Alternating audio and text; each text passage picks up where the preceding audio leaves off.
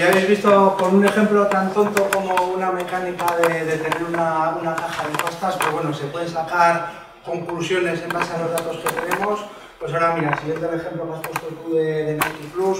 sí, se vende, te lo, te lo, venden al usuario, mira, esto es una aplicación que tienes para, para incentivarte, para motivarte que, que hagas deporte, pero yo lo que quiero decir es que la, la gamificación también tiene Es decir, que mientras tú estás jugando, hay otro que detrás está trabajando, está analizando tus datos. ¿no? Si Nike Plus tiene millones de usuarios a lo largo de todo el mundo, pues ese fabricante de, de ese software sabe cuáles son las tendencias, qué deportes está haciendo cada persona, en qué países, qué horarios, entonces bueno, de cara a preparar, digamos, eh, la ropa o los, artículos deportivos de nuevas temporadas, pues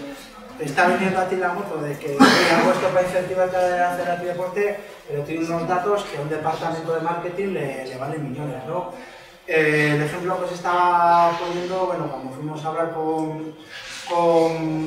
esta gente del departamento turístico, nos decía, bueno, sí, está muy bien que, que, incentivéis a la gente, que se divierta, que encuentren entretenido una aplicación de realidad aumentada, gamificada, pero lo que a mí me interesa realmente es que, bueno, que, que les preguntes al, al, hacer el login, que, que te digan de qué país es, de cuántos años tienen, el sexo y tal. Y luego, mira, cuando vayan pasando por estos sitios, eh, me vas a hacer cada vez que hagan check-in y tal, me vas a pasar luego todos esos datos para que yo pueda luego hacer analíticas y,